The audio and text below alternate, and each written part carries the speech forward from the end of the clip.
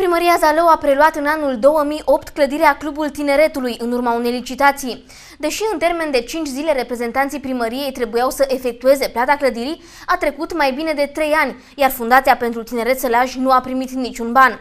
Motivul invocat de primar a fost că nu i s-a comunicat contul în care să vireze banii. Contravaloarea clădirii câștigate în urma licitației de către primăria Zalău în anul 2008 este de 20 de miliarde de lei vechi. Fundația pentru Tineret Sălaj nu a primit încă banii, deși au trecut 3 ani. Autoritățile locale susțin că primăria este proprietarul clădirii, însă nimeni nu a făcut dovada plății. Întrebat de ce banii sunt tot în contul primăriei, Radu Căpâlnășiu s-a eschivat și a explicat că nimeni nu le-a comunicat contul în care să vireze cei 20 de miliarde de lei vechi, deși vorbim despre un cont public. Pe de altă parte, reprezentantul Fundației pentru Tineret susține că el a comunicat contul bancar de mai multe ori, dar nu a primit niciun răspuns din partea primăriei. Edilul se încurcă însă în explicații. Aflat în vizită la turnul imobiliar, acesta a declarat că de fapt banii nu pot fi virați unei persoane fizice, dar Fundația pentru Tineret Sălaj are personalitate juridică.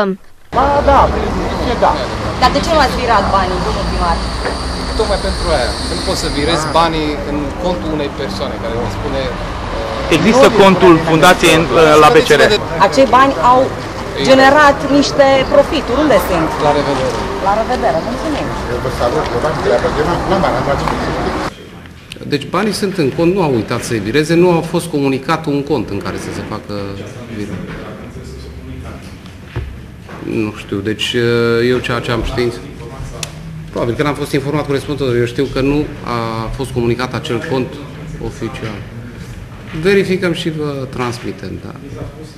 Oricum noi nu putem folosi banii în alt scop, deci aceia sunt disponibili Cele 20 de miliarde de lei vechi ar fi trebuit să genereze o anumită dobândă în 3 ani de zile, bani pe care Fundația pentru Tineret Sălaj i-a pierdut. În concluzie, primăria Zalău a rămas și cu banii și cu clădirea.